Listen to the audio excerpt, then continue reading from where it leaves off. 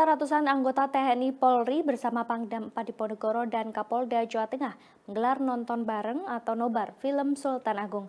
Menariknya nobar ini juga diikuti langsung oleh beberapa orang terah keturunan Sultan Agung. Nobar film Sultan Agung dihadiri langsung terah keturunan Sultan Agung yakni KGPA Tejo Wulan hingga cucu Paku Buwono 10 Muriati Sudibyo.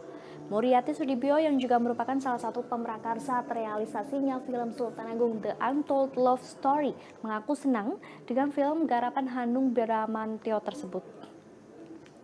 Menurut Muriati, film ini dapat menjadi tontonan yang sangat bermanfaat, khususnya untuk generasi muda di tengah gempuran film barat yang mayoritas bertema action, horor, dan komedi.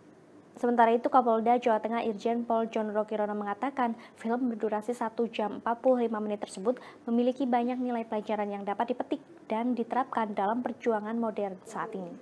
Rasa cinta tanah air serta bahaya berita bohong atau hoax adalah salah satu pelajaran yang dapat dipetik dalam film kolosal tersebut. Film Sultan Agung sendiri berkisah tentang sosok kepahlawanan Sultan Agung, Sang Raja Mataram.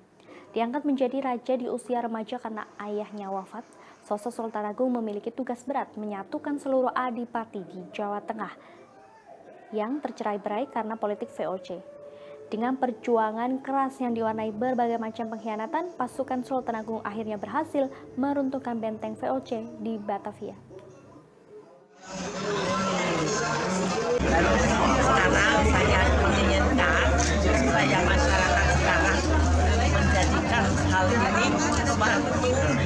Pelajaran tontonan yang memberikan apa